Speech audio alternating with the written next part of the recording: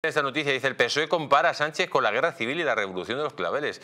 ¿Qué le parece, eh, señor? Luego veremos lo que ha dicho Zapatero, eh, lo, de, Pachi López de no pasarán. Lo de la guerra civil, pues eh, realmente de la abundancia de corazón habla la boca. Realmente este Pedro cada vez se parece más a largo guerra civilista, confrontando, dinamitando las instituciones de, derecho, mm, obviando los contrapoderes, machacando eh, por tierra, mar y aire a cualquier enemigo que le osa decir la verdad, como Isabel Díaz Ayuso. ¿no?